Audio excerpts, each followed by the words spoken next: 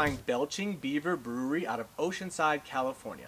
This one is called No Worries IPA. This is a West Coast India Pale Ale, and this one is 6.2% alcohol.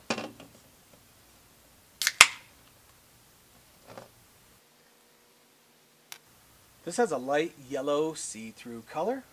I poured a really big head on there. I poured it too fast. It's got a nice thick creamy head on there. Lots of carbonation in there. This has a really nice citrus smell to it. A little bit of a sweet smell to it too, almost like a cotton candy smell to me. Smells good. A little bit of spice smell. Very sharp, spicy taste to it. A little bit of bitterness, tiny bit of hoppy taste. In the end, I can taste citrus. I taste a little bit of sweetness. It's good. Very clean, very crisp. Just that little bite at the beginning.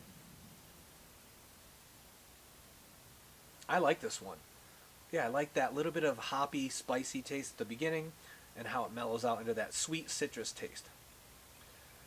Alright, to sum this one up, has a light yellow see-through color, poured a nice thick creamy head on there. To me it has a sweet citrus smell to it, almost like a cotton candy smell, but like citrusy smell. Tiny bit of spice smell. Initial taste, it does have a little bit of spicy bitterness to it. It's very clean, very crisp. Then in the end, it has like a citrus sweet taste to it. Really good. The aftertaste is great. I like this one. Like a lighter West Coast IPA. Alright, thanks for watching. Check out my other videos, subscribe, leave comments, hit the like button. Till next time, cheers. I'm going to play John Cougar Mellencamp, Small Town. He used to be John Cougar Mellencamp, but then he just went with John Mellencamp, I guess.